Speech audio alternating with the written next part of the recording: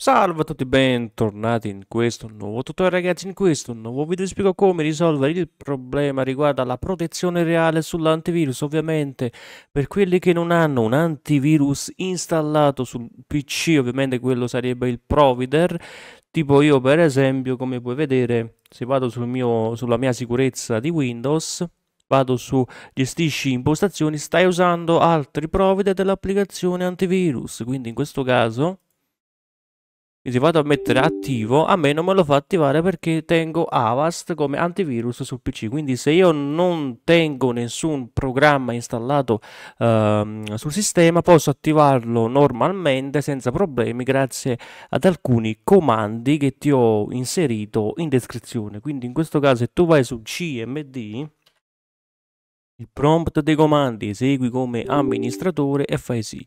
Una volta fatto vai in descrizione, cominci a copiare il primo comando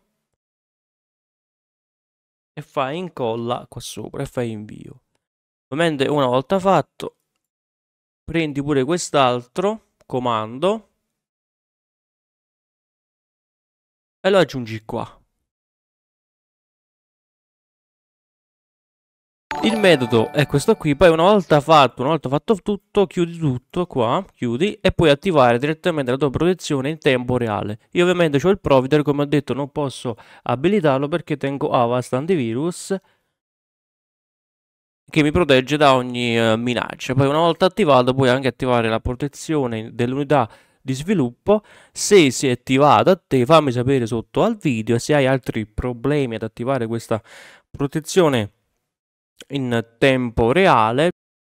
Se non dovesse funzionare, in alto a destra nelle schede c'è un'altra guida dove io faccio vedere come attivare la protezione in tempo rea reale uh, sul criterio, quindi sulla protezione dei criteri uh, del, del, sistema. Quindi uh, se questo video ti è stato utilissimo iscriviti, lascia like e noi ragazzi ci vediamo ad un prossimo tutorial. Ciao!